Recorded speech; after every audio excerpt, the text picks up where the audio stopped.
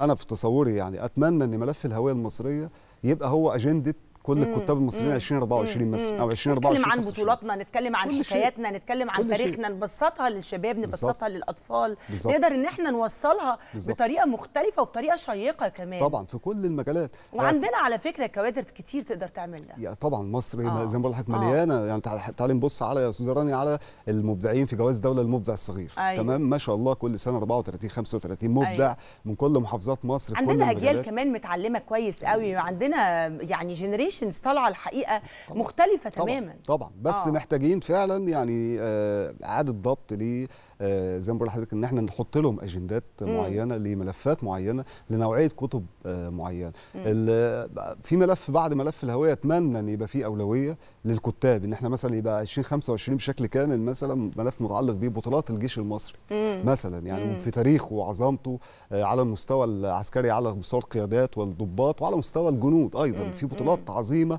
حتى اليوم لم يكتب عنها مثلا. فإحنا محتاجين في ظل مثلا آه، معركة الوعي الدولة المصريه بتقودها آه، التحديات الرقمية والتكنولوجية وال- والتحديات الاقتصادية الظروف ال- الإقليمية المحيطة إحنا محتاجين طول الوقت في التذكرة أو التذكير بمثل هذه البطولات للقوات المسلحة المصرية مثلا